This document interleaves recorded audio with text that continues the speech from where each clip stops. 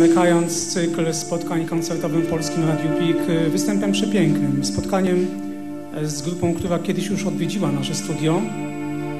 Było to dokładnie licząc 4 lata, 1 miesiąc i 1 dzień temu.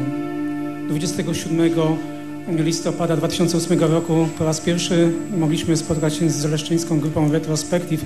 Wtedy jeszcze muzycy byli troszeczkę onieśmieleni. Dzisiaj jest zupełnie inaczej. Dzisiaj mają za sobą tyle sukcesów, że zdziwiłbym się, gdyby nie wierzyli w siebie.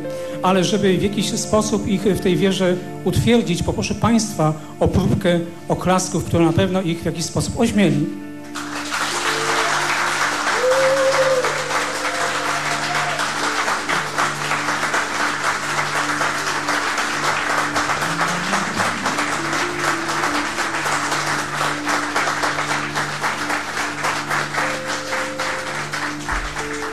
Mirek Fryszkę, Mirek Worobiej, Tomek Turski to komplet, który odpowiedzialny jest za brzmienie dzisiejszego koncertu, zarówno tutaj w studiu, jak i na naszej antenie oraz w internecie.